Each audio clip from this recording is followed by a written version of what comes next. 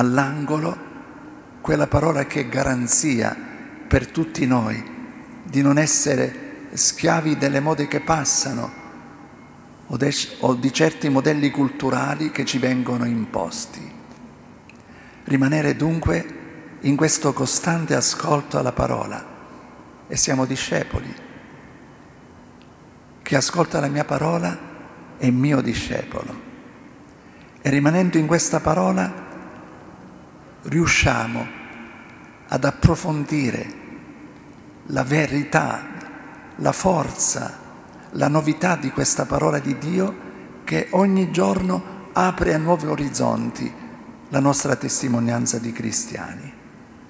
Conosciamo la verità, quella vera, quella non imposta, non addomesticata, la verità che viene da Lui e che ci dà la vera libertà anche se per questa libertà tanti hanno pagato con la vita.